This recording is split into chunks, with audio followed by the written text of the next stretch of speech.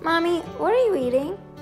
Oh, it's just chocolate. My John used to eat this all the time, but it's rare. What happened to him again?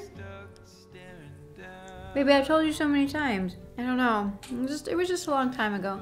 Mom, can we go to that chocolate factory? Mr. Wonka says he randomly invites people in. Honey, he hasn't let anybody in in over 10 years.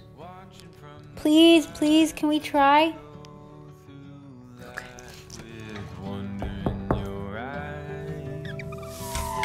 Hello, how can I help you? Mr. Wonka! You're the owner of the factory shop? Yes, I am. I'm. Mommy, I want to go in. Your husband wants to come too? Um, no, I, it's just me and her. I don't have a, I'm not married. Come in. Wow. Mom, it's huge. I got this one special for you. Ellie. So much.